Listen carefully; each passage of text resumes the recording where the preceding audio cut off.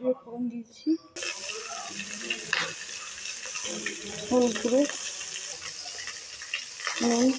data